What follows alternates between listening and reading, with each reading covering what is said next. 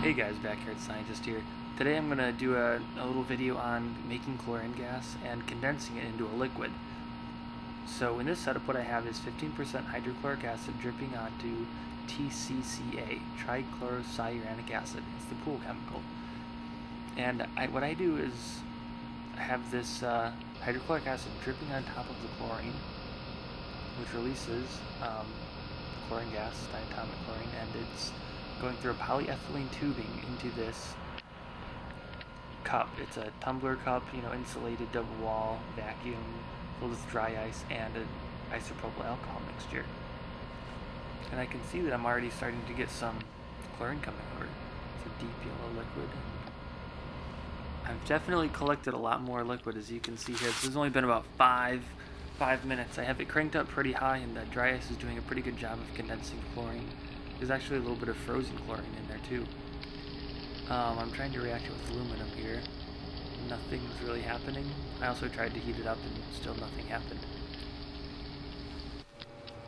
Here I am, I'm going to react it with uh, sodium bromide and chlorine will displace the bromine out of the solution and that's what you see here is the chlorine oxidizing sodium bromide, just replacing the bromine.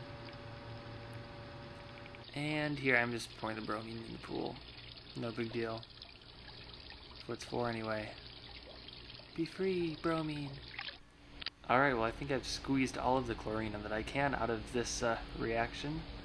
It's Plus it's about to start raining, so uh, I'm going to check out see what I have collected. And it's quite a bit of chlorine, you can see the isopropyl alcohol kind of jellied up, dripping off of that, but that right there is 15 grams of extremely angry yellow liquid. Oh my god.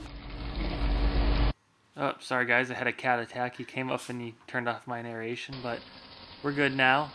Um, where's my train of thought? Thanks for watching, guys. Sorry I got rained out, so, you know, whatever. It's Florida. Kind of stuff happens all the time. I'm used to it.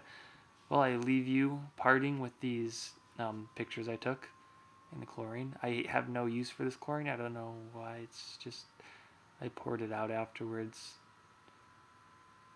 Uh, bye.